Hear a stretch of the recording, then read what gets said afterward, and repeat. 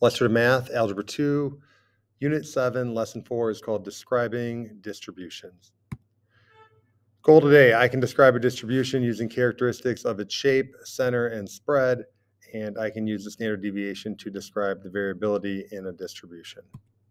So go ahead, pause the, the video and take a look at the four graphs and tell me which one doesn't belong. It says that four different kinds of glass are hit with a hammer and the length of the longest crack formed is recorded. The process is repeated 150 times for each type of glass. So for A, this is the only histogram. A histogram has bars that are connected that represent your frequency, and all the other ones are dot plots. And it's the only one that includes a vertical axis. So we know for sure how high each one of these these bars are. Versus um, on the dot plot, we don't know if if if each dot it represents frequency of one inch or two inches or whatever. Um, so it's a little harder to tell there. Second one, it has extreme values that may be outliers. So these values over here are potentially outliers because they're kind of far off from the rest of the data. Um, go to this one here. We say that it's um, not bell shaped. It's actually bimodal because we have these two um, these two bell shapes kind of on the on the left side and the right side. And it's the only one with the mode that's not near the mean. Okay, the mode is the most frequent. So your mean is still kind of in the middle because it's still semi symmetrical, not fully symmetrical, but but still kind of like if I put a line right here, it's kind of pretty close to being symmetrical. And then the last one, last one, um, its measures of center are closer to five than ten. So you know you look at your your your your mean, which is somewhere kind of right there in the middle, because it looks almost like a normal distribution, except for a little bit of um, higher frequency right there around four. Um, but your your mean is closer to five versus here your mean is more like ten.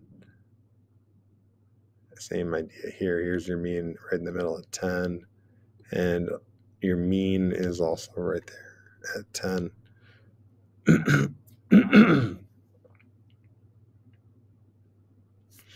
All right. Take turns with your partner to select a dot plot and describe the distribution.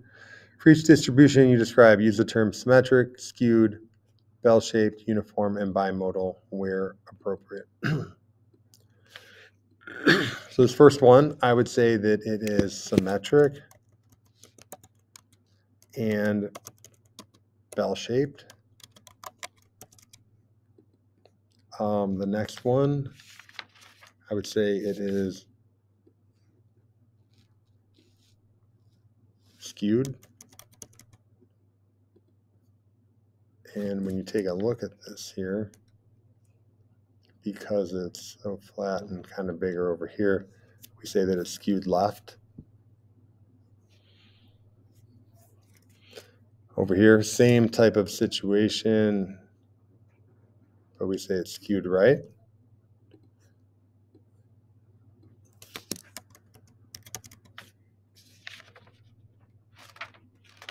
And then the last one. I would say that it's approximately uniform. And I would say it's also approximately symmetric. Not fully symmetric. You got this one here's got four. You'd have to have four right there. You got this here at seven, only has two dots. So very close, but not, not fully. All right, take turns with your partner to match a dot plot with the summary statistics for the data shown. For each match you find, explain to your partner how you know it's a match. For each match your partner finds, listen carefully to their explanation. If you disagree, discuss your thinking and work to reach an agreement. All right, so I look at this one here. I'm, I'm just going to kind of look around here. So D is definitely got most of its data over here to the right. I would say D probably has the, the one that is the biggest mean. So when I look at my mean here of seven, I can probably say that this one goes with D. Okay, just because I know the mean is, is biggest here. Um, let's go to one. I'm gonna try to match this one here. I'm gonna kind of what I'm gonna do is I'm gonna look at the the mean is three, or you let's look at the median. The median's two. So the middle number is two. So obviously here the middle two is like the fourth number on that one. So that's not the middle number. Same thing here. I think if I count these dots, I think there's 30 total on all the graphs. So two is the five, eight, it's the 9, 10, 11th number. So I don't think two is in the middle there. Whereas here, I think it is in the middle. Um, might be easier to count from the right. So one, two, three, five, seven, nine, 11, 14. So 15, yeah, so two is my my median. So I'm going to put that one there. Now, when I look at two and three, I can't use mean or median to um, separate the two. So I'm going to go to standard deviation. So if you have a smaller standard deviation, that means more of your data is your data is clo- closer to your mean. So when you look at B versus A, on B, more of my data is closer to my mean. My mean is five. I have a lot of data very close to it. Okay, like when I look here, I have a lot of data very, very close to the mean. I only have like, you know, one, two, three, four, five, six, seven, eight, eight points far from the mean. Okay.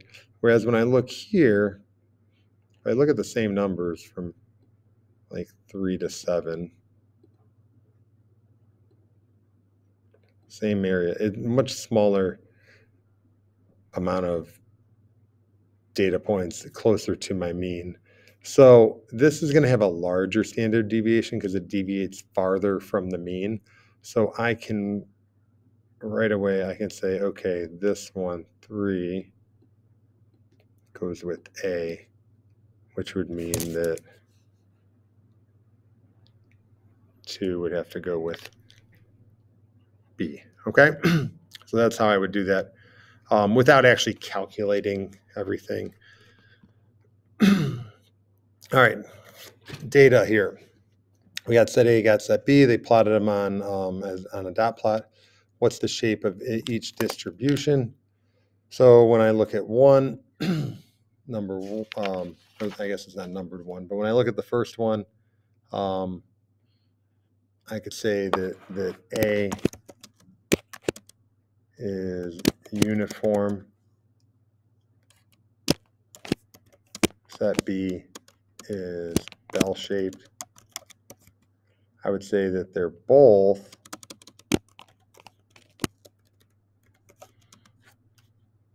symmetric.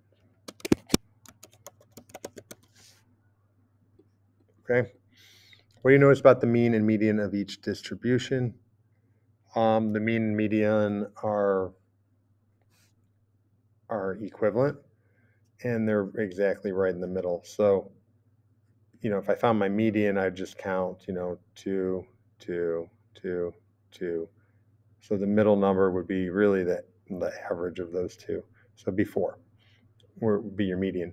And then your mean would also be the same because if I, you know, basically to find my mean, I would have to, if I really wanted to find it, you know, it's like I have two twos, so it's like two times two. And I have two threes, so it's plus, that was supposed to be a plus.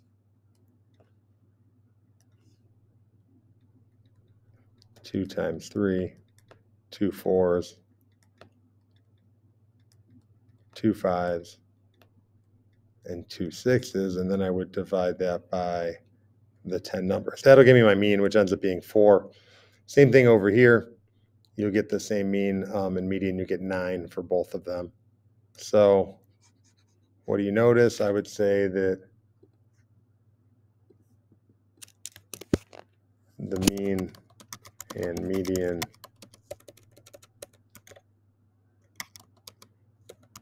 are the same. in each set. Set A equals 4. Set B equals 9.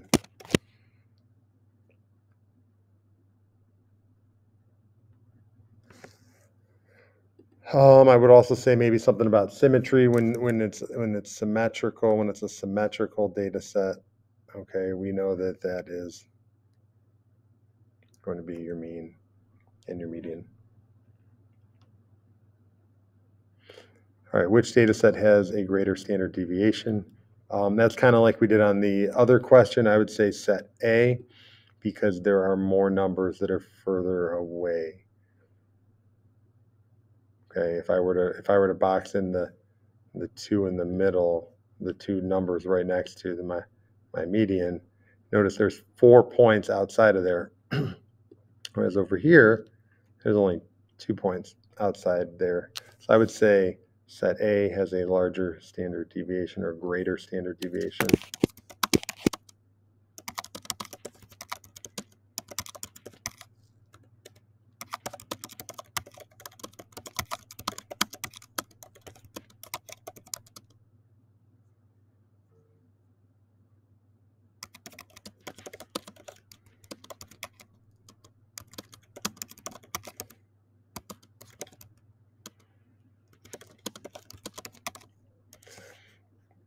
Claire says if you add 20 to the highest value in the data set, that both the mean and median will increase.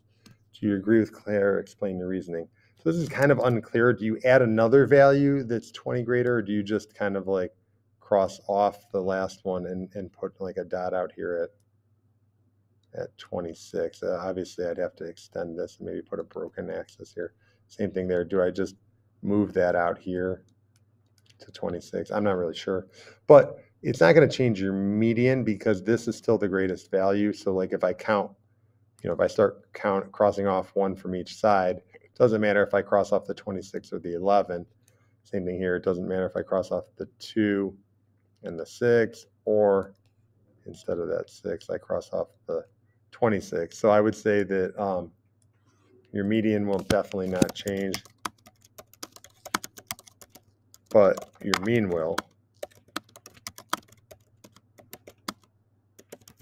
will get greater or will become greater. Okay? so I can describe a distribution using the character, characteristics of its shape, center, and spread, and I can use the standard deviation to describe the variability in a distribution. Those were the goals. Hopefully, hopefully we're good with those. All right, the last thing. The distribution has a mean of 50 and a median of 50 and a standard deviation of 25.82. Draw an example of a dot plot with a bell-shaped distribution that has a mean of 50 and a standard deviation that is less than 25.82. So we're going to have to move our, our data closer to the, the mean. So let's count how many dots are in here. So let's see here. This is 12. No, that's 16 plus 6, 22, 20. So there's 50 total dots here. No, is that right? No, hang on. This is 12. I'm sorry, I, I screwed that up. So that's 12